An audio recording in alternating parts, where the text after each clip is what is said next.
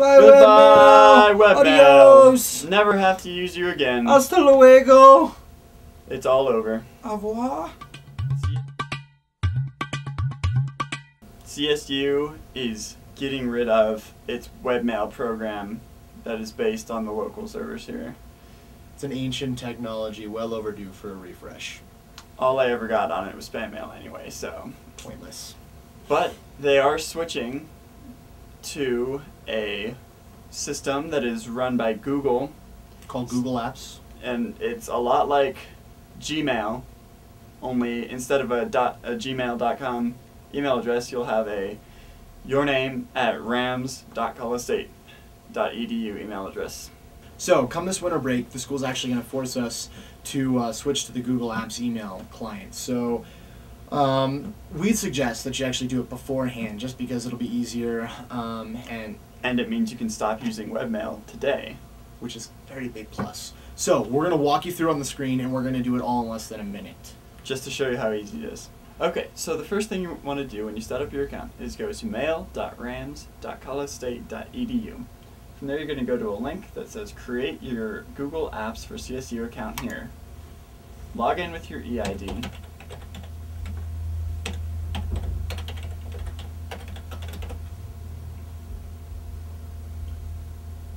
Click Continue after remembering not to click back during the account creation process. Click continue when it says what your alias will be, which should be your name. Go ahead and remember it, anyways. On the next page, click migrate my Simla email if you want all of the mail that was in your old webmail inbox to be in your inbox now. Click update my Google Calendar and keep it updated if you would like your schedule to be reflected on the new Google Calendar app that you'll have access to. Click continue. And that is as long as it takes to create your account. So right off the bat, uh, when your account gets created in your inbox, you're going to have just a couple emails from Google describing uh, some of the features. So if you're new to Gmail, go ahead and check those out. It's going to teach you how to use the new email client. They've got some really in-depth tutorials uh, and instruction guides for you.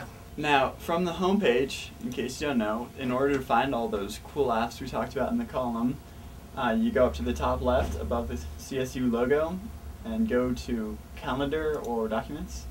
If you click on Calendar, it takes you right here where it already has your class schedule imported. And right next to that is the Documents link. And from there, over on the left-hand side, right below the CSU logo, you can go to New, then Document, Presentation, or Spreadsheet, which has all the functions, or close to, of Microsoft Word, PowerPoint, and Excel.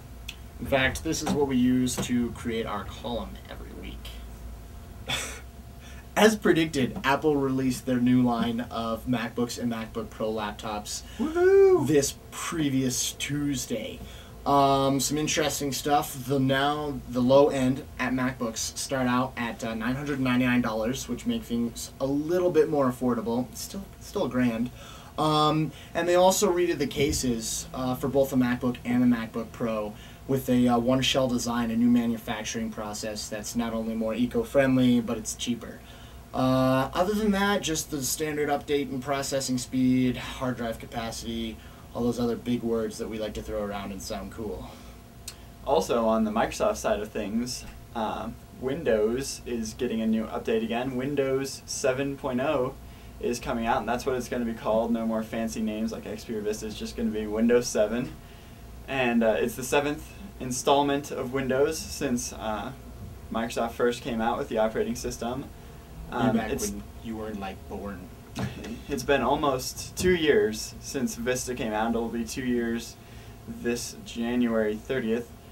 Um, and so this is just uh, yet another operating system coming out. Clearly, they're trying to get back on track with coming out with something new uh, more often after spending six years without an update um, while XP was out. So, But don't expect it anytime too soon. There's been no release date set, and generally, once the release date is set, it's pushed back at least once, usually twice. so that's what's new with Apple and Microsoft this week. And tune in next week to see our how-to video for this month.